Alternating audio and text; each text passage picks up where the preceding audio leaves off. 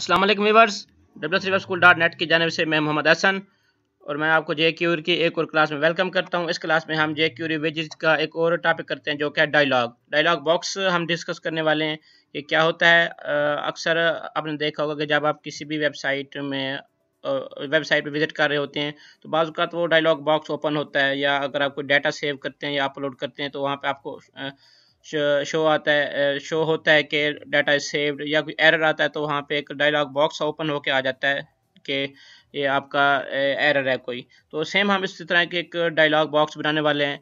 ये किस तरह बनाएँगे हम जे क्यूरी यू आई के इंटरफेस मींस के जे क्यूरी यूज़र इंटरफेस को यूज़ करते हुए हम ये बनाएँगे। ये जे क्यूरी ये फैसिलिटी प्रोवाइड करती है यू आई के थ्रू तो हम अब ये बनाने वाले हैं।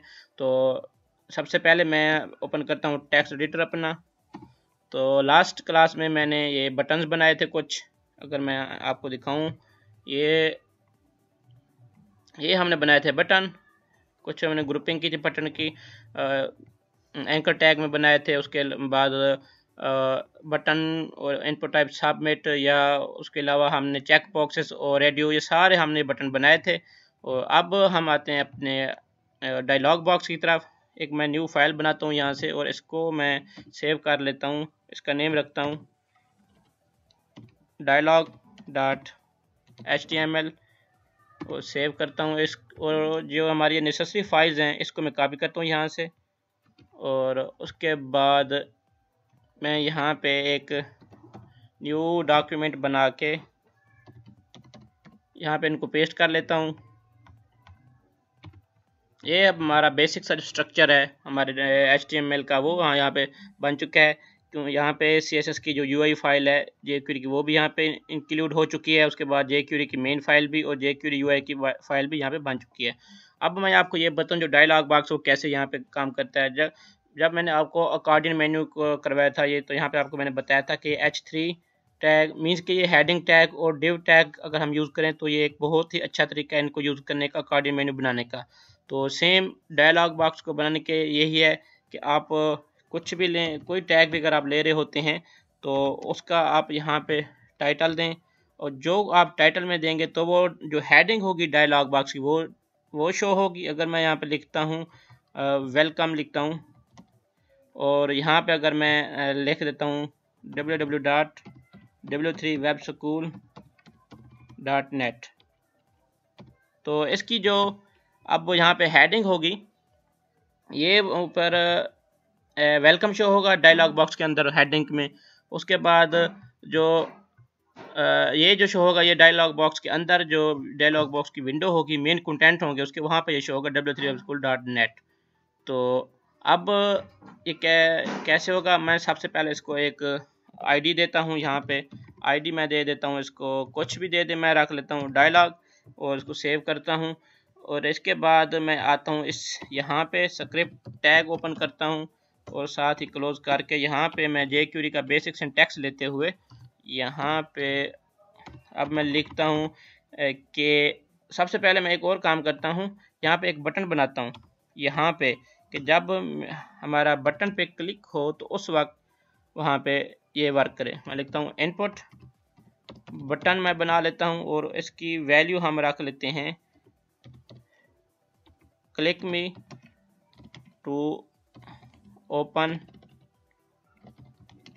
Sorry mistake हो रही स्पेलिंग की मेरी. टू ओपन डायलॉग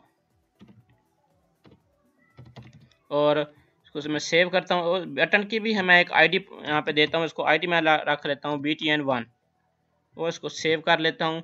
अब मैं यहाँ पे आता हूँ, जो जे क्यूरी का बेसिक सिंटेक्स है, मैं वहाँ पे लेता हूँ. और उसके बाद मैं यहाँ पे रेडी फ़ंक्शन लेके यहाँ पे मैं इसका, ये मिस्टेक हो रही है। यहाँ पे डॉक्यूमेंट डॉट रेडी आएगा और यहाँ पे लिखता हूँ फ़ंक्शन फ़ंक्शन क्या रन हो?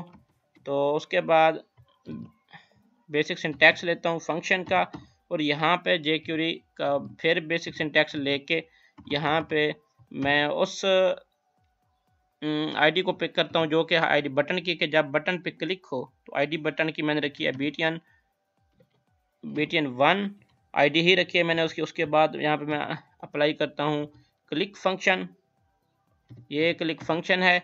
उसके बाद जब क्लिक हो तो मेरा फ़ंक्शन रन हो। फ़ंक्शन क्या रन होना चाहिए? ये जे क्यूरी का बेसिक सिंटेक्स और फ़ंक्शन का बेसिक सिंटेक्स की लेते हुए यहाँ पे अब मैं सिंपली यहाँ पे लिखता हूँ। जे क्यूरी के बेसिक सिंटेक्स लेके यहाँ पे के जो आईडी है डायलॉग वो जो है वो डायलॉग ये वो डायलॉग है जो मैं यहाँ पे लिख रहा हूँ, जो कि jQuery U I inter जो कि जे क्यूरी यू प्रोवाइड करती है, ये वो डायलॉग है। ये यहाँ तक मैंने कोशिश किया कि जे क्यूरी का जो डायलॉग है वो वहाँ पे ओपन हो जाए। मैं इसको सेव करके अपने ब्राउज़र में ओपन करता हूँ। तो इस पर जब मैं क्लिक करता हूँ तो ये देखें, ये यहाँ पे शो कर रहा है कि ये जो, जैसे भी, जो मैंने यहाँ पे लिखा था वेलकम ये वहाँ पे टाइटल था तो वो उसको एज हेडिंग ले रहा है, और जो यहाँ मैंने टेक्स्ट लिखा था, वो वहाँ पे इसको एज कंटेंट्स ले रहा है उसके। तो उसको मैं जब रिफ़्रेश करता हूँ तो ये देखें, ये एक चीज़ ये है, यहाँ पे नीचे शो हो रही है, ये शो होनी होनी है, क्योंकि ये वहाँ पे या इसको आप सीएसएस के थ्रू हाइड कर लें।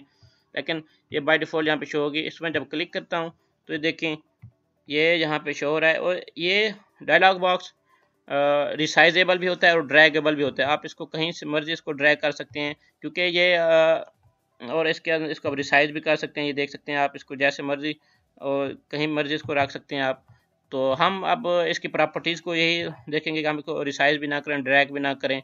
और सबसे पहले तो हम ये प्रॉब्लम सॉल्व करते हैं कि जब मैं रिफ़्रेश करता हूँ तो ये भी यहाँ पे शो हो रहा है और फिर उधर भी शो हो जाता है जब इस पर क्लिक होता है। और इसके बाद एक और चीज़ देखें तो अब ये डायलॉग बॉक्स ओपन है, लेकिन फिर भी ये जो देखें, ये बटन मेरा वहाँ पे वर्क कर रहा है। मींस के जो बैक डायलॉग्स के बैक पे जो भी वहाँ पे पेज है, वो उस पर आप उस वहाँ पे वर्क कर सकते हैं। देखें, अगर बटन जो है मेरे वो क्लिकेबल है। इसका मतलब ये है कि वहाँ पे आप इसको कोई भी वर्क कर सकते हैं डायलॉग के बैक पे। तो हम चाहते हैं कि वो वहाँ पे वर्क ना हो तो ये भी हम सारा काम करेंगे। मीन्स ये कि जो मेन डायलॉग्स की विंडो है, ये अनेबल हो, उसके बाद जो जितनी भी बाकी विंडो है, वो डिसेबल हो जाए।